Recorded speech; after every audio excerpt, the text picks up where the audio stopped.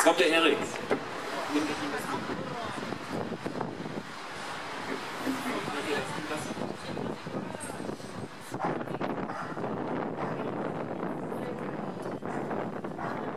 Der Mensch hat nicht das Recht. Der Mensch hat nicht das Recht, über die Tiere zu urteilen. Sie stammen aus einer anderen Welt, die älter und vollständiger war als unsere jetzt. Ihre Erscheinung ist besser und vollständiger. Sie haben Eigenschaften, die wir verloren oder nie erreicht haben. Sie sind keine Untertanen. Sie gehören einer anderen an und sind nur durch Zufall mit uns zugleich ins Netz der Zeit gefallen, die wir, gleich, die wir Glanz und Plage zugleich für die Erde sind. Von Henry Biston.